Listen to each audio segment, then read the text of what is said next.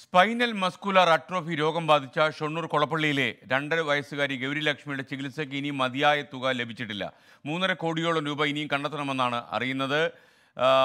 എന്തായാലും മാതാപിതാക്കൾ വല്ലാത്ത നിസ്സഹായ അവസ്ഥയിലായിരിക്കുന്നു ഇപ്പോൾ. ഗൗരിലക്ഷ്മിയുടെ കുടുംബത്തിന്റെ ദുരിതം പൂർണമായി മാറിയിട്ടില്ല. പല പ്രേക്ഷകരും സംശയം ചോദിച്ചു. തന്റെ മകളെ തിരിച്ചു കൊണ്ടുവരാൻ സുമനസ്സുകൾ ഇനിയും കനിയണമെന്ന് കൈകൂപ്പി അപേക്ഷിക്കുകയാണ് അച്ഛൻ ലിജുവും അമ്മ നിതയും.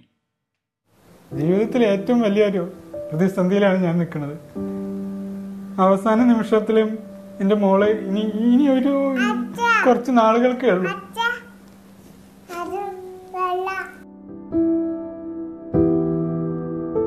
ഈ കുഞ്ഞുമുഖം കണ്ട് മലയാളികൾ നൽകിയത് പന്ത്രണ്ടര കോടി രൂപയാണ്. പക്ഷേ അതുകൊണ്ട് മാത്രമായില്ല കുഞ്ഞു ഗൗരി സാധാരണ നിലയിലേക്ക് മടങ്ങി വരാൻ ഇനിയും വേണം മൂന്നര കോടിയോളം രൂപ.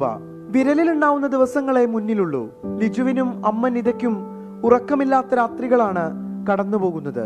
ഇത്രയും വരെ ഫണ്ട് എത്തിച്ചിട്ടും ഫണ്ടായിട്ടും ഒന്നും ഒന്നും ഒന്നും പറ്റില്ലല്ലോ എന്നുള്ളൊരു ടെൻഷൻ.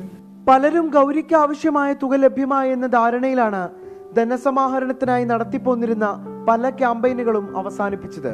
ഓർഡർ ചെയ്ത ശേഷം മരുന്ന് ലഭിക്കാൻ ഇരുപത് ദിവസത്തോളം വേണ്ടിവരുമെന്നിരിക്കെ എത്രയും വേഗം സാധ്യമാകുന്നവർ തുക നൽകണമെന്നാണ് സഹായ കൂട്ടായ്മയും കുടുംബവും ആവശ്യപ്പെടുന്നത്.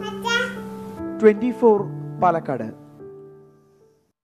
എന്തായാലും ഇത്രയധികം പണം നമ്മൾ സ്വരൂപിച്ചതാണ് ഈ ക്രൗഡ് ഫണ്ടിങ്ങിലൂടെ ഗൗരി ലക്ഷ്മിക്ക് വേണ്ടി നമ്മൾ കുറച്ചുകൂടി കൊടുക്കാത്ത ആൾക്കാർ കുറച്ചുകൂടെ പണം കൊടുക്കുകയാണെങ്കിൽ വളരെ സന്തോഷം. കാരണം ഈ ഒരു കുടുംബത്തിന്റെ കണ്ണീരൊപ്പാനുള്ള നമ്മുടെ ശ്രമം പരാജയപ്പെടാൻ പാടില്ല. ലോകത്തെവിടെയായാലും ഏത് സമയത്തും ട്വന്റി ഫോർ വാർത്തകളും ഓക്മെന്റഡ് റിയാലിറ്റി പാക്കേജുകളും എക്സ്പ്ലെയിനറുകളും വിശദമായി കാണാൻ ഞങ്ങളുടെ യൂട്യൂബ് ചാനൽ നിങ്ങൾക്ക് സബ്സ്ക്രൈബ് ചെയ്യാം.